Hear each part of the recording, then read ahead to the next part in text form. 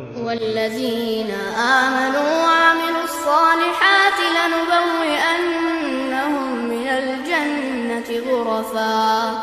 غرفا تجري من تحتها الأنهار خالدين فيها.